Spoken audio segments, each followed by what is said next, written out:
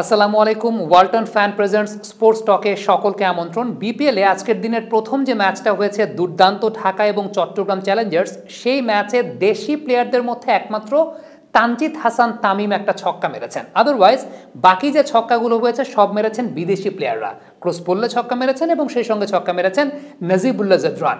কোয়েশ্চেনের জায়গাটা এখানে চলে আসে যে, বিদেশি প্লেয়াররা ছক্কা মারতে পারছেন মাল্টিপল টাইমস ছক্কা মারতে পারছেন, কিন্তু দেশি প্লেয়াররা কেন ছক্কা মারতে পারছেন না? ডেফিনেটলি বর্তমান সময় যেরকম শীত চলছে উইকেটটা ওই রকমভাবে প্রপারলি মেনটেন করা পসিবল হচ্ছে না। এটা একটা অনেক বড় কারণের জায়গা। কিন্তু তার চাইতেও আমার কাছে সবচাইতে বড় যে কারণটা মনে হয়েছে, সেই কারণটা হচ্ছে বাংলাদেশি ব্যাটারদের ব্যাকফুটে শট খেলতে পারার ক্যাপেবিলিটির জায়গাটা কম। আবারও বলছি ব্যাকফুটে শট খেলতে পারার ক্যাপেবিলিটির জায়গাটা কম। আপনি একটা বিষয় খেয়াল করবেন, তা হচ্ছে ছক্কা মারতে না পারুক, কিন্তু ব্যাটাররা যেভাবে স্ট্রাগল করে বাংলাদেশের ব্যাটাররা কয়েকটা বল আমি আপনাদেরকে দেখাই, খেয়াল করে দেখবেন, যেগুলো আসলে মূলত ব্যাকফুট ওরিয়েন্টেড শট খেলারই বল। কিন্তু বাংলাদেশি ব্যাটাররা যে কাজটা করছেন তা হচ্ছে হ্যান্ডটাকে থ্রো করছেন কমিটেডলি ফ্রন্ট ফুটে যাচ্ছেন। অর্থাৎ আগে থেকে সিদ্ধান্ত নিচ্ছেন যে আমি ফ্রন্ট ফুটেই শট খেলব, যদিও সেই বলগুলো মূলত পক্ষে আসলে ব্যাকফুটে শট খেলার মতোই বল। ফ্রন্ট ফুটে বড় ছক্কা মারার যখন ট্রাই করছেন তখন যেটা দেখা যাচ্ছে, যেহেতু অভ্যেস খুব বেশি হয় না, আমাদের এখানে ডোমেস্টিক ক্রিকেটে টি টোয়েন্টি বিপিএল ছাড়া আর খেলা হয় না, কিংবা ওয়ান ডে ফরম্যাটের যে ডোমেস্টিক ক্রিকেট হয়, সেইখানেও আসলে খুব বেশি অ্যাটাকিং ক্রিকেট হয় না। সো অভ্যস্ততা কেপাবিলিটির একটা ব্যাপার আছে। একটা বিষয় খেয়াল করে দেখবেন যে ক্রস পড়লে তিনি ব্যাকফুট ওরিয়েন্টেড শট খেলেই কিন্তু একটা চমৎকার পুল শটের মাধ্যমে ছক্কা মেরেছেন। এখন প্রবলেমের জায়গাটা এইখানেই দেখা যায় যে এই টাইপ অফ ডেলিভারিগুলোকেও বাংলাদেশের ব্যাটাররা ফ্রন্ট ফুট ওরিয়েন্টেড শটই খেলতে যাচ্ছেন। আরেকটা ব্যাপার ফ্রন্ট ফুটে যখন বিগ শট খেলতে যাচ্ছেন, তখন মিসকিউট শট হচ্ছে। এর পেছনে অন্যতম বড় কারণের জায়গাটা হচ্ছে অভ্যস্ততার ব্যাপারটা।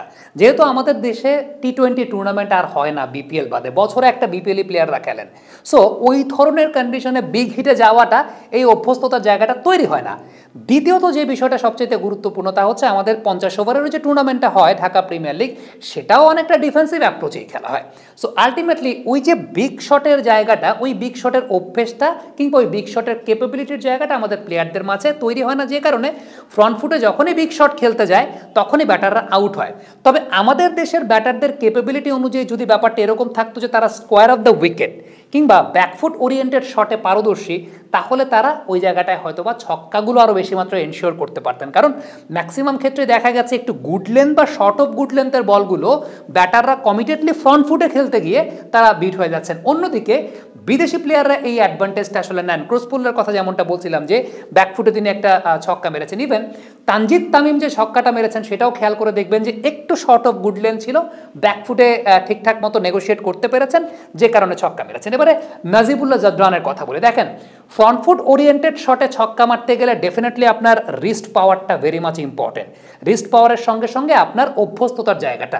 নাজিবুল্লাহ জাদরান একটা ছয় দেখবেন বডি থেকে অনেক দূরে রেখে তিনি ছক্কা মেরেছেন। অর্থাৎ তার বডি এবং বলের অবস্থানটা দূরে। যে জায়গাটায় বাংলাদেশের নাইনটি পার্সেন্ট ব্যাটাররাই আসলে মিস টাইমিং করবেন, কারণ বাংলাদেশের ব্যাটারদের যখন ফ্রন্ট ফুট ওরিয়েন্টেড শট খেলতে যান, তখন তাদের বডি বলের পজিশন এগুলো একদম অ্যাকুরেট হওয়া লাগে। কিন্তু আফগানিস্তানের ওই টাইপের ব্যাটসম্যান যারা আছেন, যারা রেগুলার টি টোয়েন্টি ক্রিকেট খেলেন বডি ব্যালেন্স এবং হ্যান্ড আই কোঅর্ডিনেশনটাই এমন যে কারণে ওই জায়গা থেকেও আসলে বড় বড় ছক্কা হয়ে যায়। মিসকিউট বা ব্যালেন্স ঠিকঠাক মতো না থাকলেও ছক্কা হয়ে যায়। ইভেন সুইপ শটের ক্ষেত্রে আপনি যদি খেয়াল করে দেখেন, তাহলে তাদের ওই যে রিস্টের পাওয়ারের যে জায়গাটা, ওইটা বাংলাদেশি প্লেয়ারদের চাইতে অনেক বেশি মাত্রায় বেশি। সো যেহেতু বাংলাদেশি ব্যাটারদের রিস্ট পাওয়ারের জায়গাটা ওই রকম বেটার না, এবং সেই সঙ্গে এইখানকার উইকেটও আসলে বাংলাদেশি ব্যাটারদের ওইভাবে ফ্রন্ট ফুটে বড় বড় শট খেলার ক্ষেত্রে অতটা হেল্প করে না দ্যাটস ওয়াই যদি বাংলাদেশের ব্যাটাররা back foot oriented better cricket খেলতে পারতেন তাহলে রানের সংখ্যাটাও বৃদ্ধি পেত, ছয়ের সংখ্যাটাও বৃদ্ধি পেত।